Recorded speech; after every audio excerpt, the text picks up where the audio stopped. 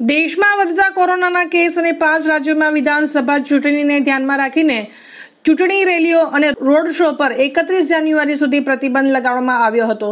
સોમવારે ચૂંટણી પંચની બેઠક મળી જેમાં આ પ્રતિબંધને અગિયાર ફેબ્રુઆરી સુધી વધારવાનો નિર્ણય લેવાયો છે. જો કે આ સાથે જ આ પ્રતિબંધમાં થોડી રાહત પણ આપવામાં આવી છે. એટલે કે પ્રતિબંધની સાથે રેલીમાં એક હજાર લોકો સામેલ થઈ શકશે.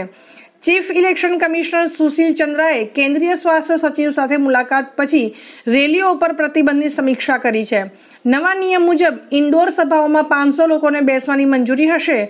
જ્યારે કે ઉમેદવારની સાથે ડોર ટુ ડોર કમ્પેઇનમાં વીસ લોકો લઈ જઈ શકાશે. આ પહેલા કોરોનાના વધતા કેસને જોતા ચૂંટણી પંચે પાંચ રાજ્યોમાં બાવીસ જાન્યુઆરી સુધી રેલીઓ અને રોડ શો પર પ્રતિબંધ લગાવ્યો હતો, જો કે બાદમાં તેને વધારીને એકત્રીસ જાન્યુઆરીનો કરી દીધો હતો. આઠ જાન્યુઆરીએ ચૂંટણીની તારીખ જાહેર થતા પંદર જાન્યુઆરીએ ચૂંટણી પંચે મોટી રેલીઓ અને સભાઓ પર પ્રતિબંધ લગાવી દીધો હતો, જેને બાવીસ જાન્યુઆરીએ ફરી વધારવામાં આવ્યો હતો. હવે એકત્રીસ જાન્યુઆરીએ તેને ફરી વધારીને એક અગિયાર ફેબ્રુઆરી સુધી કરી દીધો, પરંતુ તેમાં થોડી છૂટછાટ પણ આપવામાં આવી છે.